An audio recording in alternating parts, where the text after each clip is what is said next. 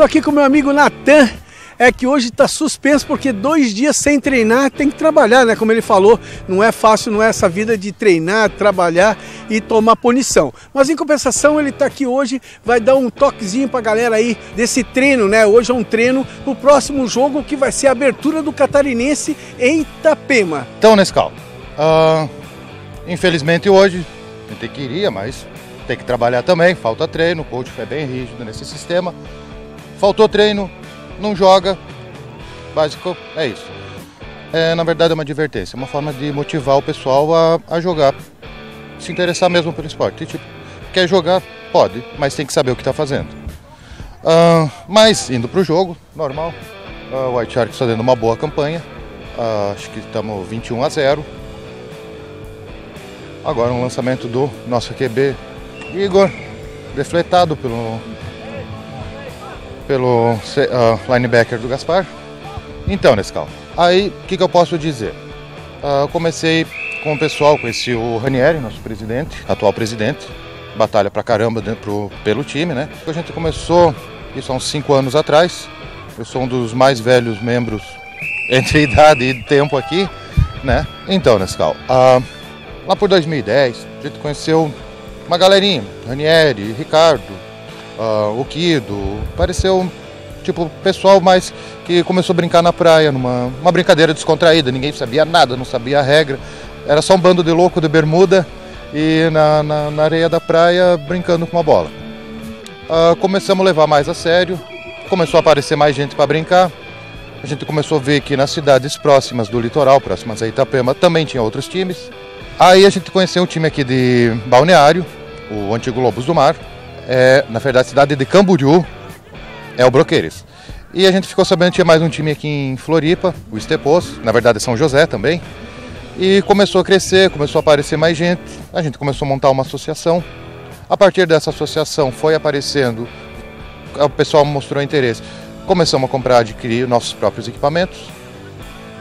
A gente foi, nosso primeiro jogo, a gente foi jogar Curitiba era Predadores. Também não existe mais esse time, eu acho que mudou, mudou o nome, integrantes, enfim. Uh, de lá para cá, a associação que a gente fez foi crescendo, foi agregando gente de bem. Hoje em dia, como você pode ver, é todo esse pessoal, um aparato. Hoje a gente tem um campo de futebol americano para jogar. Tem toda essa galera aí, ó, preparada que treina, que se dedica, que abre mão do, da sua família, abre mão do seu tempo livre, às vezes até deixa de trabalhar para se dedicar a esse esporte. O um, que mais posso falar de mim? Já acho que segundo curso de arbitragem ano passado, uh, domingo agora temos mais um curso. Então são três cursinhos, alguns joguinhos de arbitragem. Tem interesse esse ano continuar. Pretendo na, a partir do segundo semestre apitar o campeonato que a gente não participa, aí já fica mais fácil também, a gente não tem influência nenhuma, não conhece os, o, os times, enfim. Aí é um jeito da gente crescer no esporte. Então vamos lá, para finalizar, meu amigo, nesse carro. Uh, infelizmente hoje, cumprindo uma suspensãozinha, não poder participar do joguinho. O pior é você estar tá na beirada do campo, olhando para dentro e queria estar tá lá jogando. Mas tudo bem, vamos se dedicar mais, treininho aí, tem mais treino pela frente, vamos tentar conquistar a vaga, que tem bastante gente, então obviamente o coach vai escolher o que ele acha que é melhor, vamos se dedicar para ele achar que a gente é bom o suficiente. Um, semana que vem a gente tem a abertura do campeonato, Campeonato Catarinense 2015. Ah, nós vamos jogar em casa, o time Itapema White Sharks vai jogar contra um time muito forte, campeão invicto do ano passado, o São José Estepos. É um time já de renome tanto estadual quanto nacional. Pretendemos fazer uma boa campanha, ganhar também, óbvio. E como eu disse, treinar, treinar e tentar ser melhor.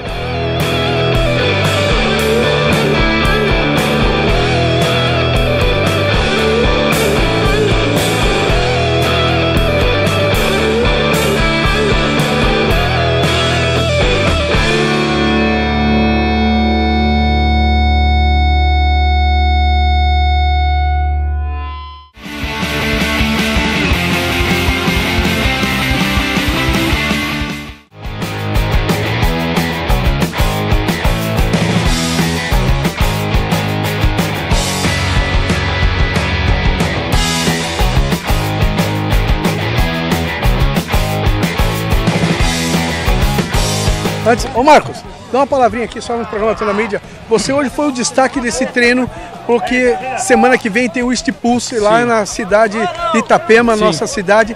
E como é que você está achando desse treino? O que, que você fala do seu time hoje? Eu acho que a nossa equipe está com muito jogador novo, que é novo no time, mas o time está treinando bastante, com bastante intensidade. E vamos entrar bem no Catarinense, vamos entrar muito bem. Acho que o primeiro jogo vai mostrar a cara do time, então a atitude tem que ser a melhor possível. E acho que a gente vai conseguir fazer um bom campeonato.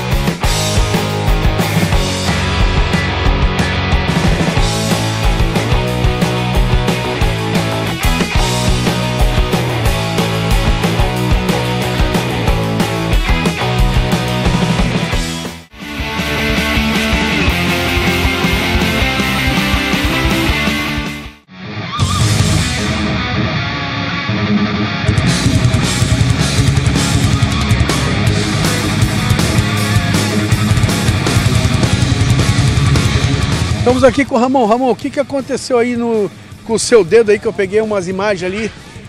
Aliás, você não pode se machucar, rapaz, porque semana que vem o bicho pega. Fala, pô, pega a contramão para não machucar essa aí, né? Então, fui dar um tackle no, no corredor do time adversário e meu dedo acabou entrando dentro da, do capacete, na face mask, que é a, a grade de proteção. E acabou, que, não quebrou, mas fez um, um L no dedo. E só que com, com a ajuda do Alexandre, que é, que é profissional na área, ele conseguiu colocar no lugar e graças a Deus tá, tá tudo bem. E vamos, vamos, vamos para cima dos times do Catarinense agora, né?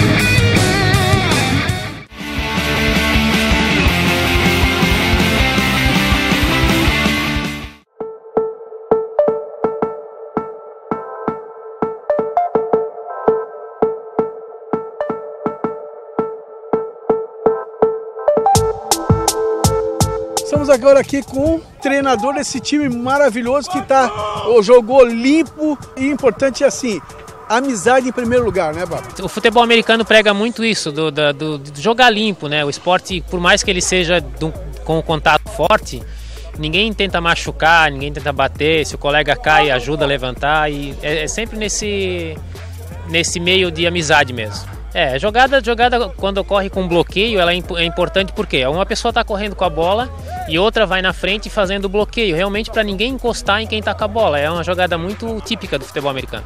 Vibrar depois da jogada, é, isso é uma forma de, de, de, de incitar é, a briga, incitar é, o jogo ficar complicado, a pessoa começa a ficar nervosa, isso não é legal, a gente realmente não incentiva.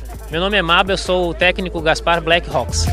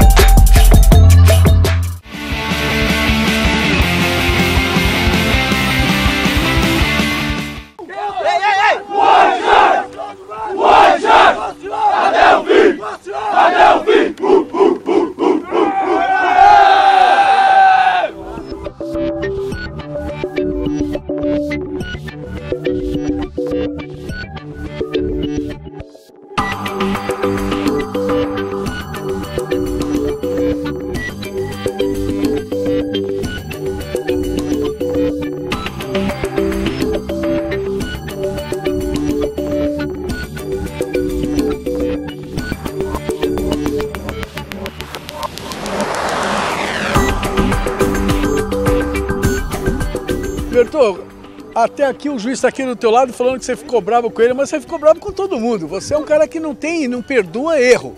Errou contigo, não, não tem mais conversa. O negócio tem, ou faz certo.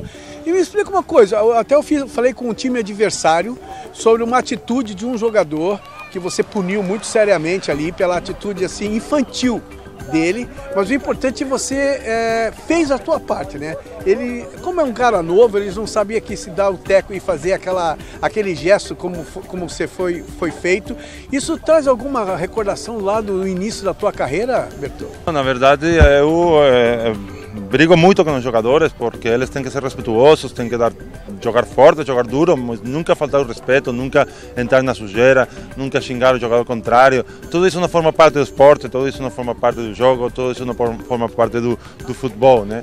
É, e aí um jogador hoje perdeu a cabeça, depois pediu desculpas lá com o time, mas eu tirei do campo, né? E já, já foi falado e já vai ser feito que o jogador que faça isso vai ser expulso do campo, não por o juiz, por, por, por mim, por o staff técnico, o staff técnico vai tirar o jogador do campo porque não podemos permitir, temos que eh, dar um espetáculo, temos que dar um jogo, o futebol americano tem que evoluir como espetáculo e não tem que ver aqui eh, sujeira e tudo isso não, não leva ao esporte crescer. Eu acho que isso atrapalha mais que, que faz crescer o esporte e não forma parte do esporte.